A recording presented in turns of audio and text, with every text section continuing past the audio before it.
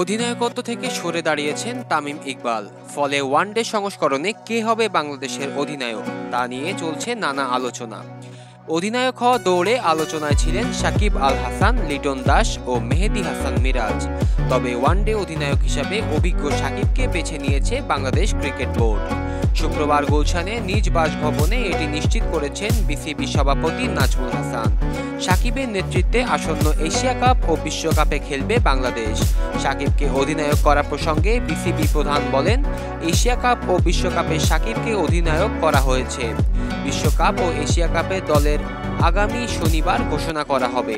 আপাতত এশিয়া কাপে সতেরো জনের দল দেবেন নির্বাচকেরা। এর আগে গত তিন আগস্ট ওয়ানডে অধিনায়কত্ব থেকে সরে যাওয়ার ঘোষণা দেন তামিম ইকবাল। এরপর থেকেই নতুন অধিনায়ক খুঁজছিল বিসিবি। অধিনায়ক ইস্যুতে গত আট আগস্ট পরিচালকদের জরুরি সভা ডাকা হয়। তবে অধিনায়ক ঠিক করা ছাড়াই সে সভা শেষ হয়।